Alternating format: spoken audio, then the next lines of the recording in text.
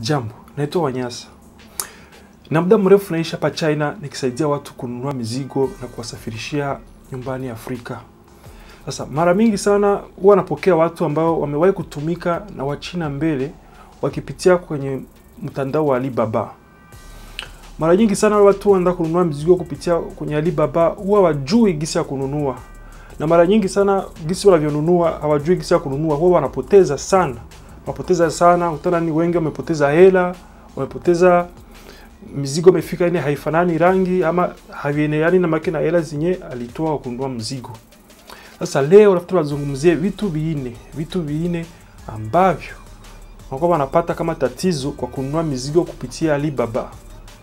Shida ya kwanza ambayo wanayopata kwa kununua mizigo kupitia Alibaba, ya kwanza ni kupata factory nzuri.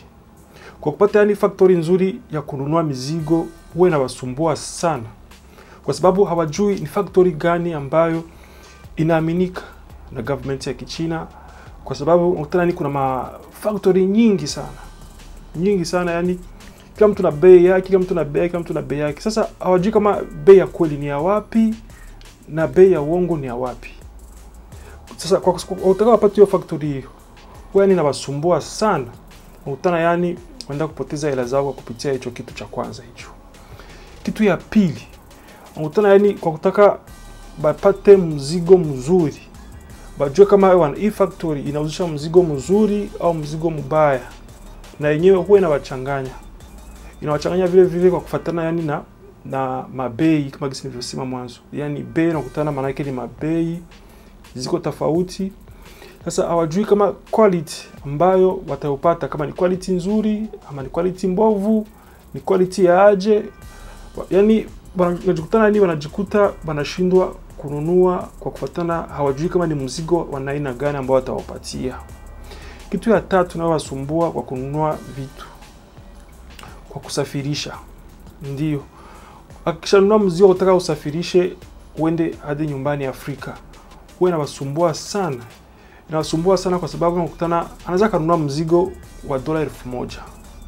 Kwa kutaka usafirishe hadi nyumbani Afrika, unakutana inamkosi hata dola elfu mbili elfu tatu.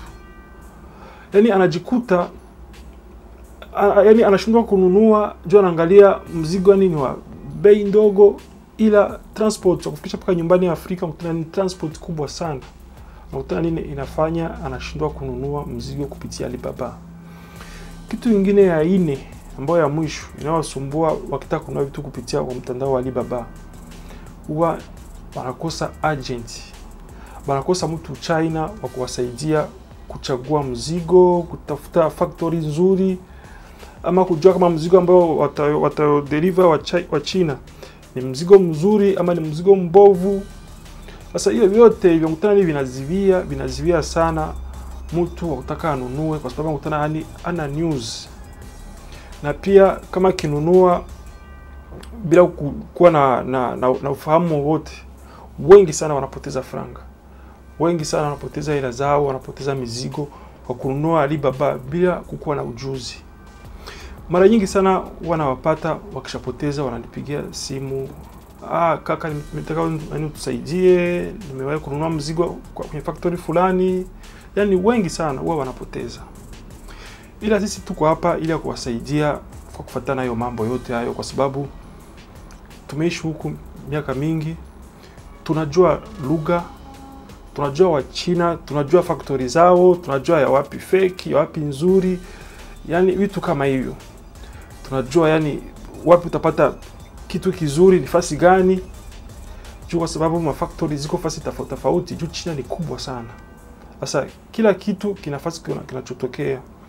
Kuna sehemu utapata nguo, kuna sehemu nyingine wanauzisha uh, viatu, yani kuna nafasi tofauti. Sasa sisi tunajua yani ni wapi utapata, kwa mfano mashine ya maji ni kwenye province gani unaweza kupata mashine ya maji, nafasi gani yani unaweza kununua, ni factory gani? Unaona, tunajua yani gisi ya kukukinga ili usipoteze mali yako, usipoteza usipoteze hela yako, na tupate kukusafirishia kwa bei nzuri hadi na kufikia mpaka nyumbani Afrika. Tunakuomba sana subscribe, subscribe katika hii channel yetu ya YouTube kwa sababu utapata mengi sana mengi sana ambayo ulikuwa hujui.